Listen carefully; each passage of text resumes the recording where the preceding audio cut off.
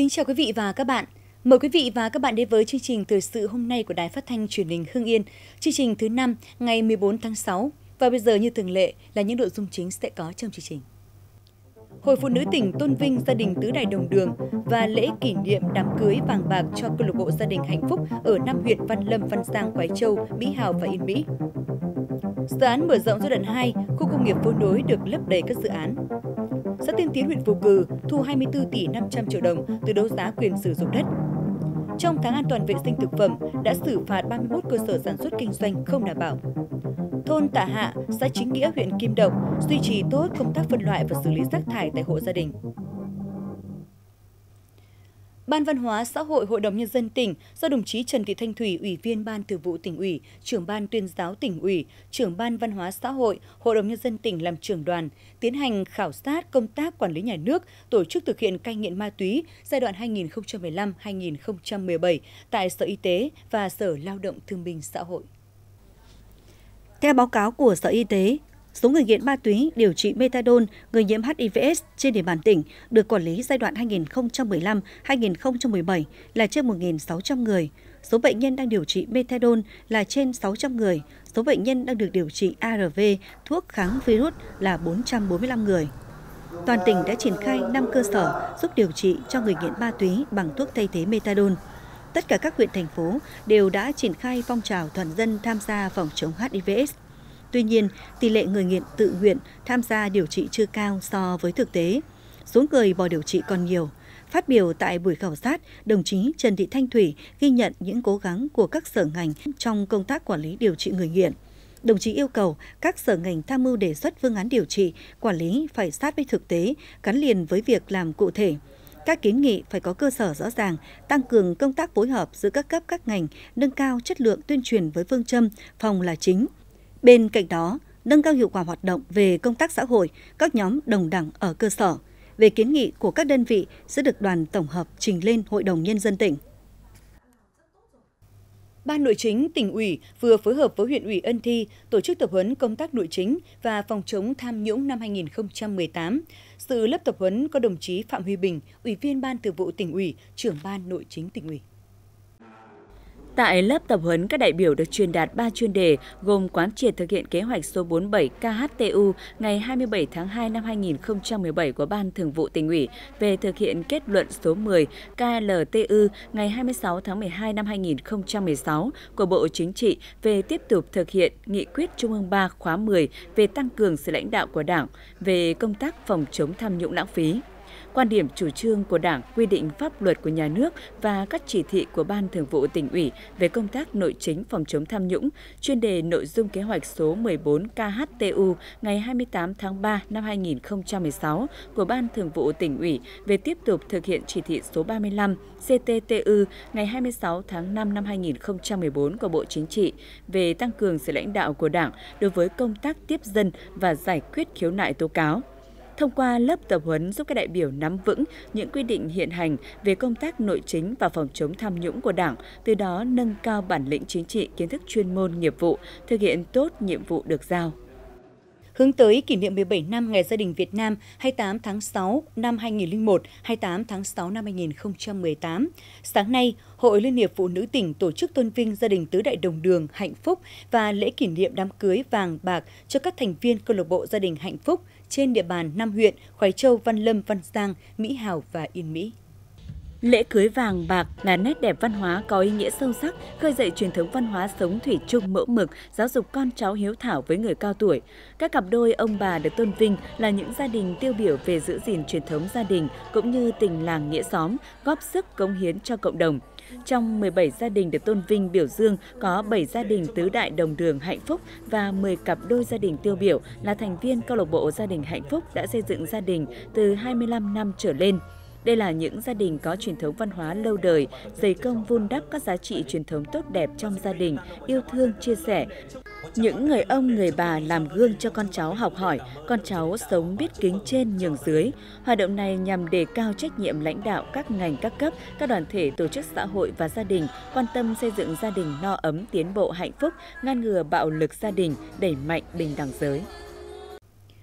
Sáng nay, trường chính trị Nguyễn Văn Linh phối hợp với Kho bạc Nhà nước tỉnh mở lớp tập huấn lý luận chính trị hành chính hệ không tập trung K75 2018-2019.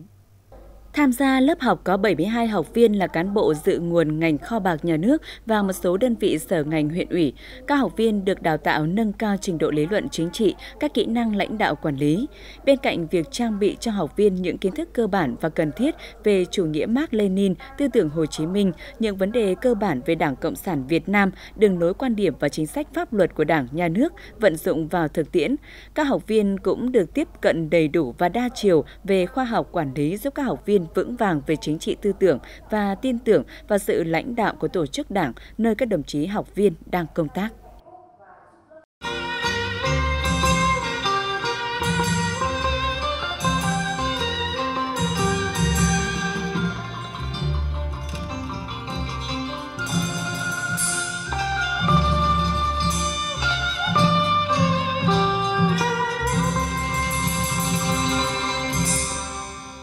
Quý vị và các bạn, sáng ngày 14 tháng 6, Quốc hội tiến hành biểu quyết thông qua luật sửa đổi bổ sung một số điều của luật thể dục thể thao và thảo luận tại hội trường về dự án luật công an nhân dân sửa đổi.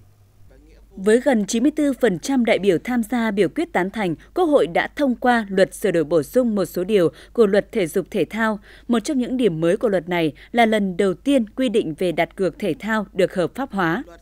Theo đó, điều 68A của luật quy định đặt cược thể thao là hình thức giải trí có thưởng mà người tham gia đặt cược thực hiện dự đoán về kết quả có thể xảy ra trong các sự kiện thể thao được sử dụng để kinh doanh đặt cược. Đây là hoạt động kinh doanh có điều kiện, chịu sự kiểm soát chặt chẽ của cơ quan quản lý nhà nước có thẩm quyền. Một điểm đáng chú ý nữa là luật đã không quy định bơi lội là môn thể thao bắt buộc trong chương trình chính khóa, mà chỉ quy định trách nhiệm của nhà nước và nhà trường trong việc ưu tiên phát triển môn bơi.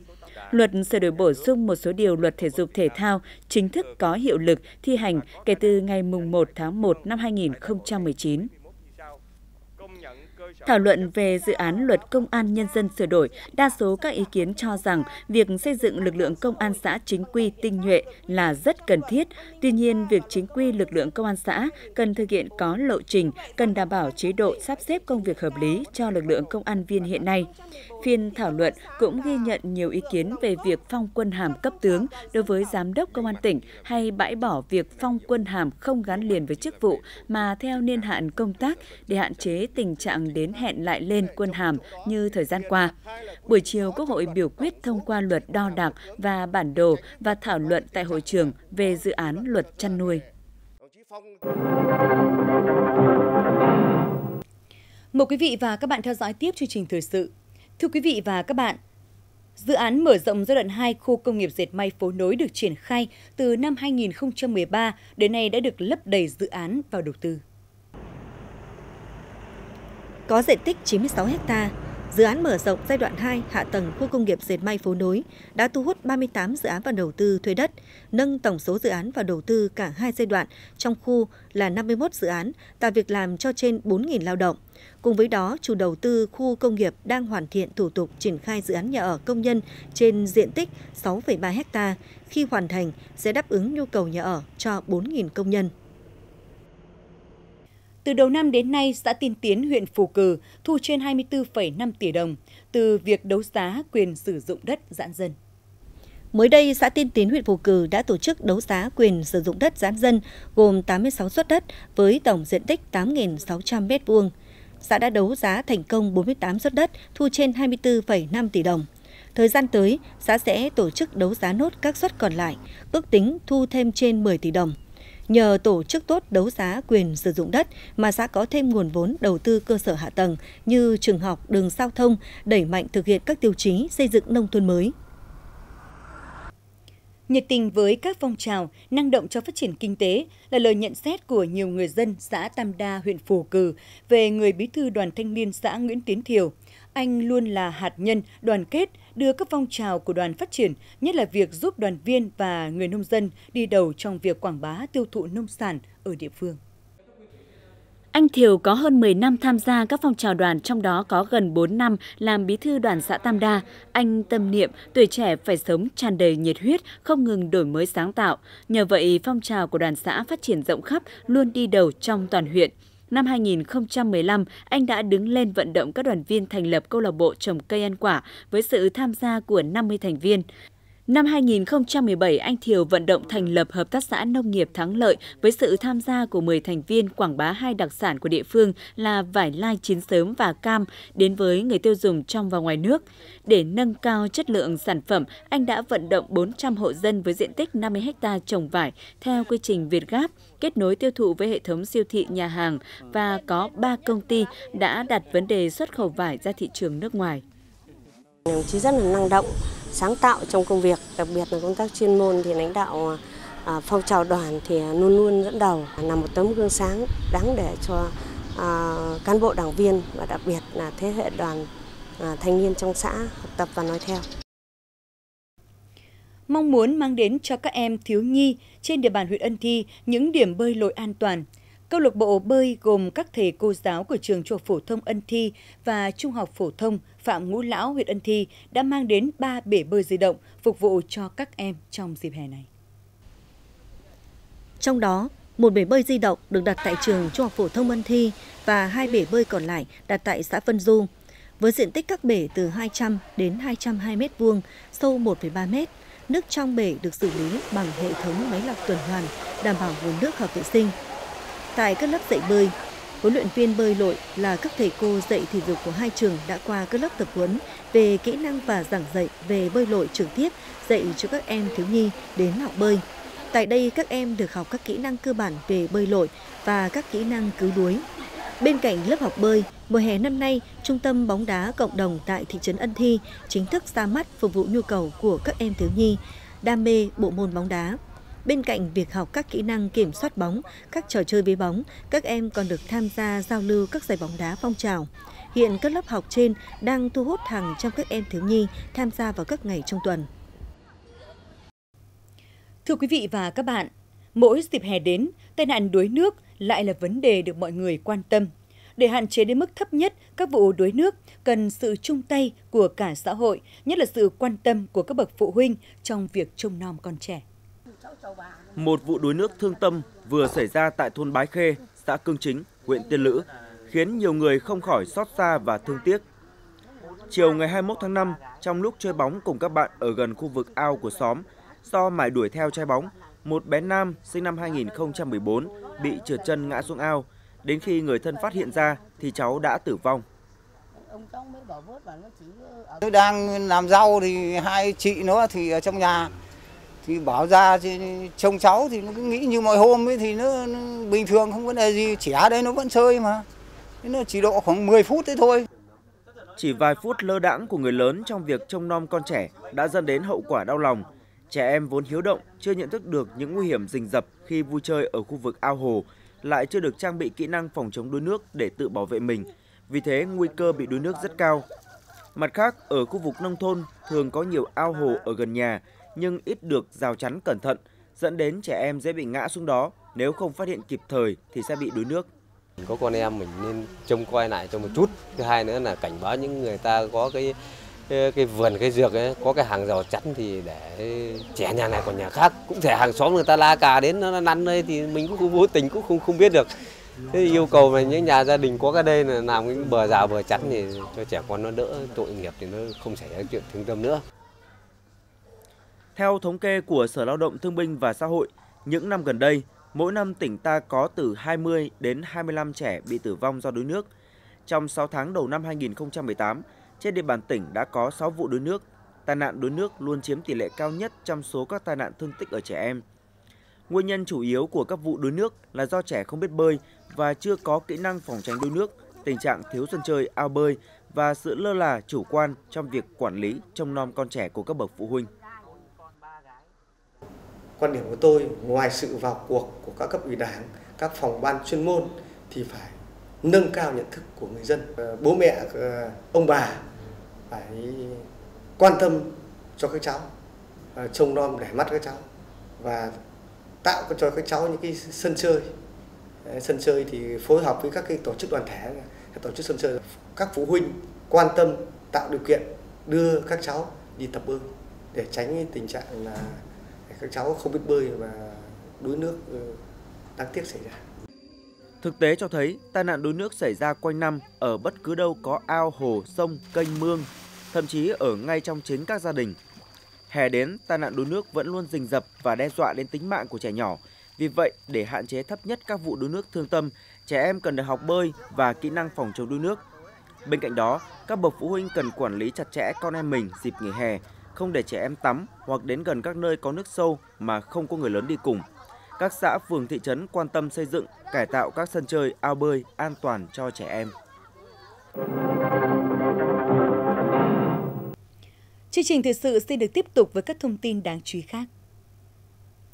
Theo báo cáo của Ban chỉ đạo tỉnh về vệ sinh an toàn thực phẩm, trong tháng hành động vì an toàn thực phẩm năm 2018 vừa qua, tỉnh ta chỉ có 31 cơ sở vi phạm bị xử phạt tổng số tiền 147 triệu 700 nghìn đồng. Tháng hành động vì an toàn thực phẩm năm 2018, tỉnh ta đã thành lập 189 đoàn thanh kiểm tra, trong đó tuyến tỉnh có 15 đoàn, tuyến huyện thành phố 13 đoàn, tuyến xã phường thị trấn có 161 đoàn. Các đoàn đã kiểm tra được 3.894 cơ sở sản xuất, chế biến kinh doanh dịch vụ ăn uống trên tổng số 10.698 cơ sở đang hoạt động.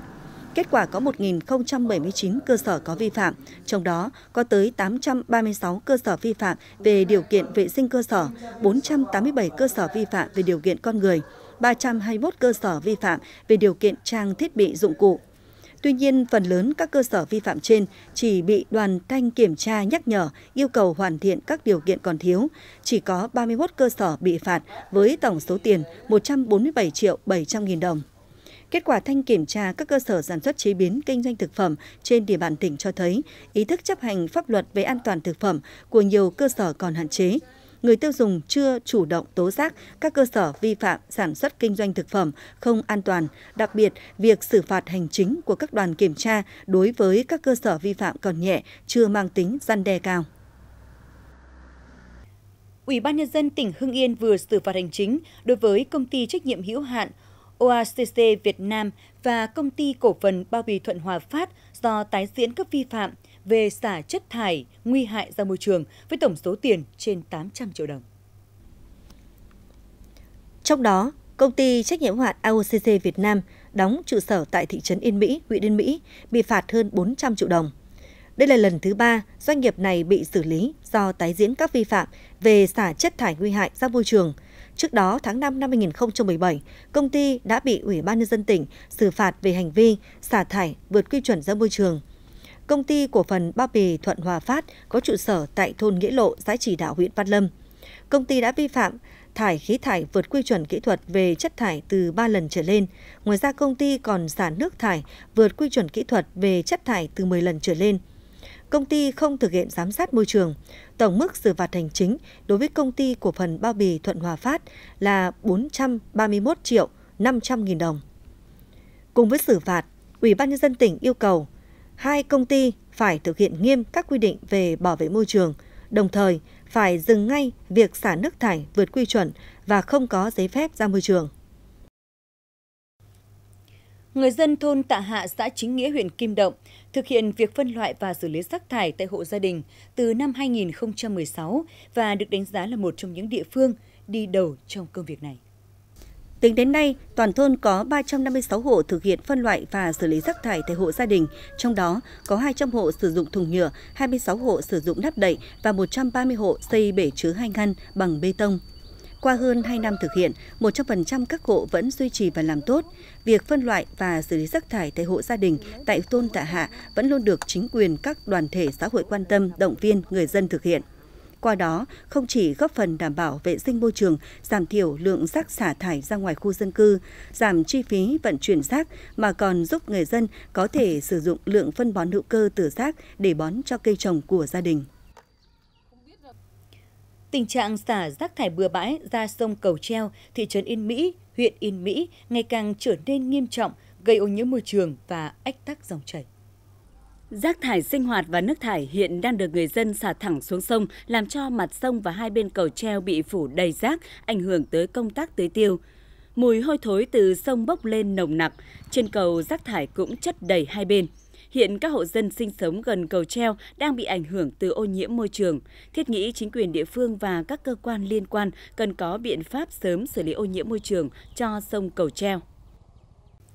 Công an huyện Tiên Lữ vừa ra quyết định khởi tố vụ án mua bán tàng trữ trái phép chất ma túy, khởi tố bị can đối với Nguyễn Văn Toàn, sinh năm 1974 ở thị trấn Lương Sơn, huyện Lương Sơn, tỉnh Hòa Bình, về hành vi tàng trữ trái phép chất ma túy và khởi tố bị can đối với Đào Thị Tình, sinh năm 1981, ở thôn Lê Bãi, xã Thủ Sĩ, huyện Tiên Lữ, về hành vi mua bán trái phép chất ma túy. Trước đó, vào ngày 7 tháng 6 năm 2018, tại khu vực đường 72 thuộc thôn Lê Bãi, xã Thủ Sĩ, huyện Tiên Lữ. Công an huyện Tiên Lữ phối hợp với công an xã Thủ Sĩ bắt quả tang Toàn đang giữ trái phép 0,148 gam heroin. Tại cơ quan điều tra, Toàn khai đã mua số ma túy trên của tỉnh với giá 300.000 đồng để sử dụng. Cùng ngày, tổ công tác đã tiến hành khám xét khẩn cấp chỗ ở của tỉnh tại thôn Lê Bãi, thu giữ 7,316 gam heroin, gần 8 triệu đồng tiền mặt, cùng nhiều vật chứng liên quan. Được biết, Tình từng có 3 tiền án về tội tàng trữ trái phép chất ma túy và một tiền sự về hành vi trộm cắp tài sản. Hiện Công an huyện Tiên Lữ đang hoàn tất hồ sơ để đưa các đối tượng ra xử lý trước pháp luật. Quý vị và các bạn thân mến, trong chương trình Thời sự ngày mai thứ Sáu, ngày 15 tháng 6 của Đài Phát thanh Truyền hình Hưng Yên, ngoài các tin tức thời sự diễn ra trong ngày, chương trình sẽ có những nội dung đáng chú ý sau. Mặt trận Tổ quốc thị trấn Trần Cao điểm sáng trong các phong trào thi đua ở huyện Phù Cử. Giống lúa nếp thơm Hưng Yên cho năng suất và giá trị kinh tế cao. Cần ngăn chặn tình trạng gây ô nhiễm trên sông Điện Biên, đoạn qua xã Hồng Tiến, huyện Khói Châu. Kính mời quý vị và các bạn cùng chú ý theo dõi.